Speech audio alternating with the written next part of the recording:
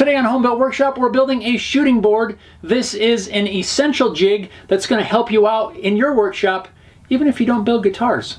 Stick around.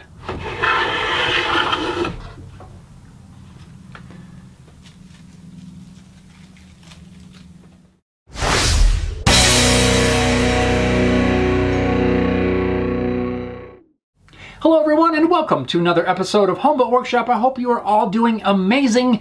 Yes, today we're going to make a shooting board to use for jointing edges, specifically in my case, for the top and the back of an acoustic guitar. Now a shooting board can be used for a lot of other things around the shop. Instead of just jointing parts for an acoustic guitar, you can use it to put a nice 90 degree edge on just about any piece of wood that will fit on your board. It's not hard to make, doesn't take a whole lot of time, so let's jump right in and I'll show you what I'm gonna build this with.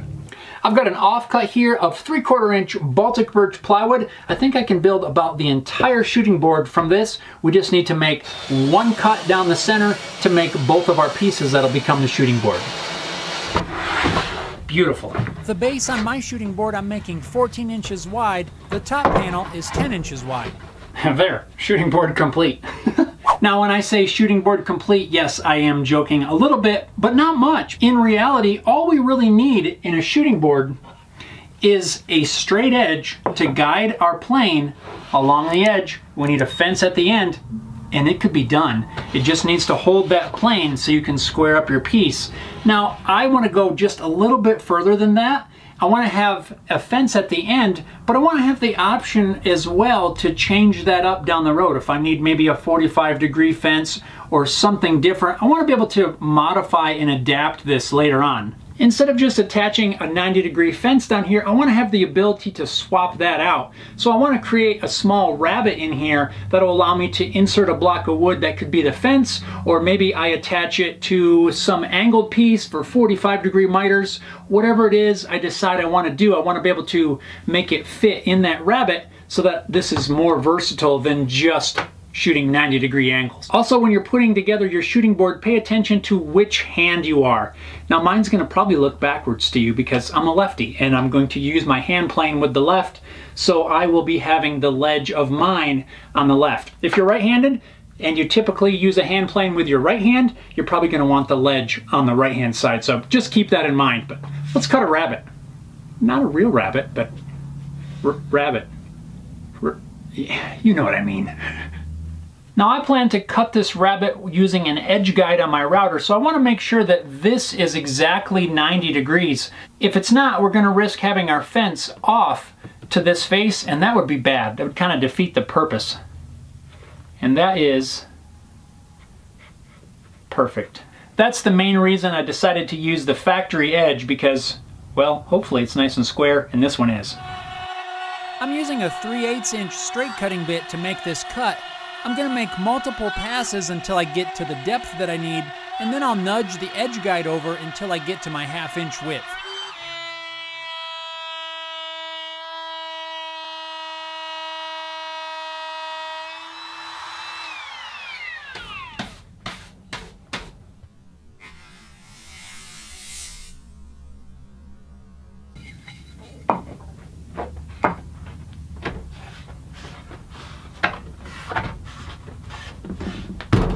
Nice. With our half inch rabbet cut in there, now we can move on to the assembly, and really, this couldn't be much simpler. First I'll lay out the locations where I'm going to drill some pilot holes for some screws.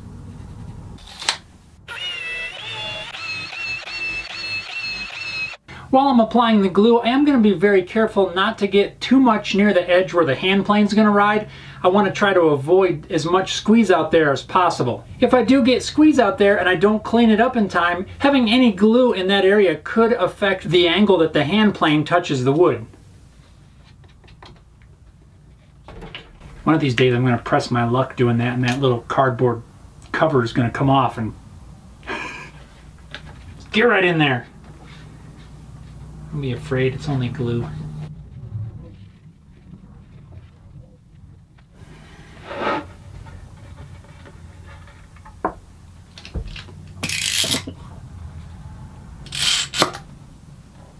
Now we'll just put the screws to it. I want to make sure that the screw does not sit proud of the surface. Whoa, hang on there. While I wait for this glue to dry, I need to install a cleat on the back. It's really just going to be a bench hook. It'll hook on the side of the bench or I could clamp it in the vise. Really just to hold everything in place while you're putting forward pressure on it. It's just going to keep the jig from sliding away from you. This is really nothing more than a block of wood. I'm just going to screw it in place. I'm going to put mine about five inches from the end. A lot of people will make a shorter shooting board and they'll put it right at the end of the piece. Wherever it works for you is just fine. I decided to pull it in about five inches just to keep it more towards me so I don't have to reach so far if I'm working on a smaller piece. If you'd rather glue the cleat in place, you absolutely can. The reason I decided to just screw it on is really just so I can move it easily if I find out that this location is not the best. If I need to move it forward or back, it's going to be really easy to do. Now, I don't know about you guys, but if you've ever had a plywood splinter, it does not feel good. So I'm gonna sand all the edges lightly just to make sure that there's no splinters, no sharp edges, or anything I can, well, splinter myself on. Yay, sanding! Now we're ready to install our fence, but before I just tap this into place, I'm gonna put a tiny chamfer on the bottom edge. That's gonna make it a little bit easier to knock it into place.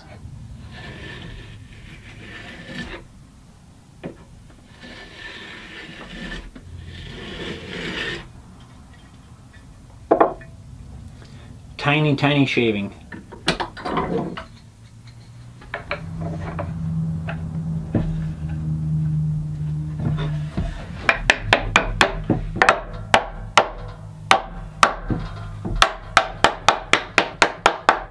I'm to double check that fence with a machinist square just to make sure we're good. And that is... That's pretty square. We'll check it the other way. I'm happy with that. That's going to work well. There's one more thing that I want to do.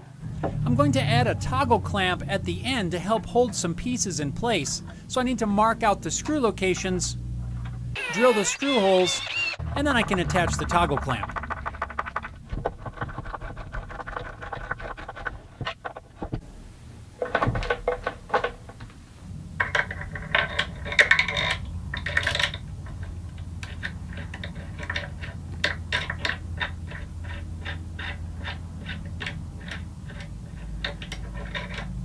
Now some of you may notice right away that that's not the typical pad that you find on a toggle clamp. Usually it's some kind of a black rubber piece or something like that, and you would be absolutely correct. This is a 3D printed piece that I made that friction fits on the bolt head of a bolt. This is just a half inch head bolt. It just friction fits on there and I've glued on a piece of leather. The idea is to help disperse some of the pressure so that I don't damage the soft woods that are typically used for the soundboard on an acoustic guitar. If you guys are interested at all in maybe trying out this pad for some sort of project that you have, just fits on a bolt, I'm going to make the STL files available to all of you for free.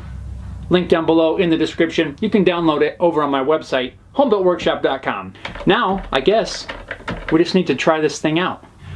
Just slide our board into place, making sure that the cleat hooks on the edge of the table.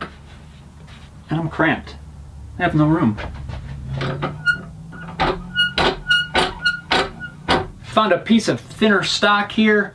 We'll just use that as a test. Let's start by squaring up the edge. We'll grab our trusty number five. I've got the blade set so that it may not even make a cut yet, We'll adjust that in tiny, tiny increments until we just can take a fine shaving off of there. So there's nothing.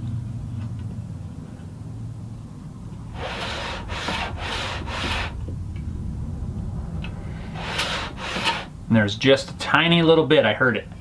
We're gonna go with that.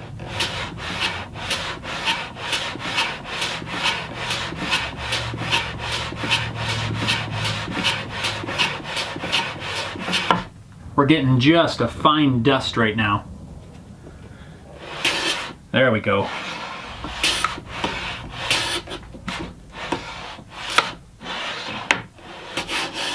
That's a nice little shaving.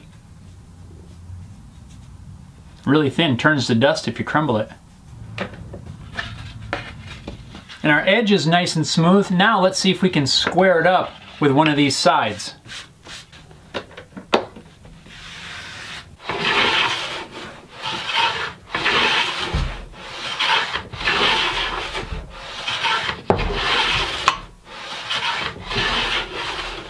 By looking at the shavings, it looks like my plane's cutting pretty even across the width. Let's see if we're square.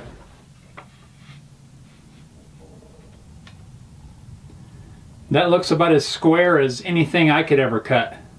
I have a light right over here to the side and I'm kind of holding the piece towards that light trying to see if there's any light coming through there. This thing's square. This is as square, if not squarer, than I can get on my table saw sled. It's dead on.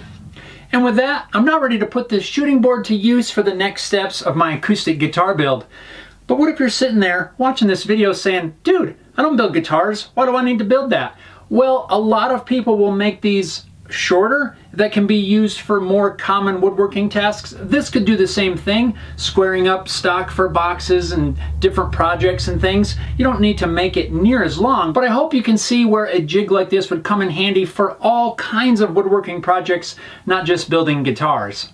I want to mention too that by having this removable fence here, I can now make any sort of different attachments that can just pop into that slot as long as I make it fit this fence. Or I guess I could even make it fit over the fence and utilize this existing one. You could make 45 degree fences with the slot in there, just pop it into place for doing miters all kinds of different options. If you just get creative, there's a ton of different options, different fixtures you could come up with to utilize this kind of a jig. Thanks a lot for watching, guys. I hope you enjoyed it, and I hope you go build yourself a shooting board. No matter your woodworking style, this thing can come in super handy. Thanks a lot for watching. We'll see you next time.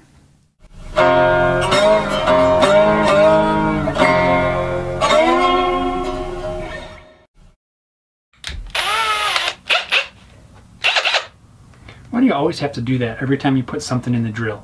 Am I the only one? Surely that can't be the case.